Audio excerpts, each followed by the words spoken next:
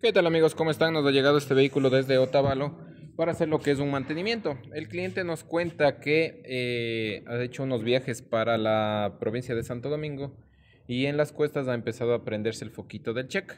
Este motor es diésel y también ha estado perdiendo lo que es un poco de potencia. Entonces ahorita en el mantenimiento y el motivo por el cual hago este video es que ustedes recomienden cuando hagan el mantenimiento limpiar los sensores de flujo de aire y limpiar los sensores de temperatura del aire del vehículo, porque estos sensores son muy sensibles y lo que sucede es que empiezan a mm, tener carbonilla en sus contactores, en la parte interna, en sus resistencias, y empieza a dar una mala señal a la computadora del vehículo.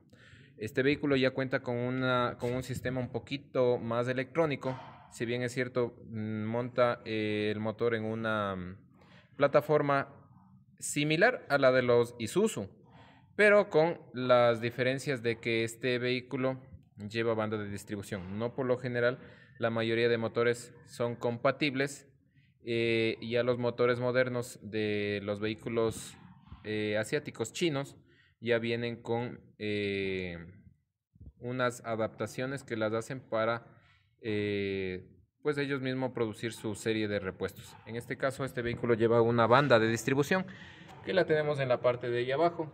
Está tapada con esta tapa plástica.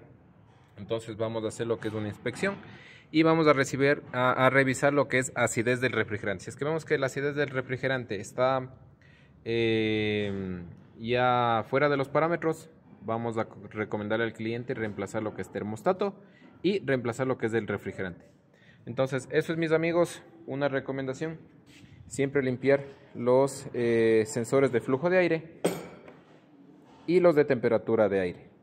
Eso es mis amigos, un fuerte abrazo y no se olviden que la vida eh, del motor a diésel y del turbo y de la bomba de inyección es del correcto mantenimiento.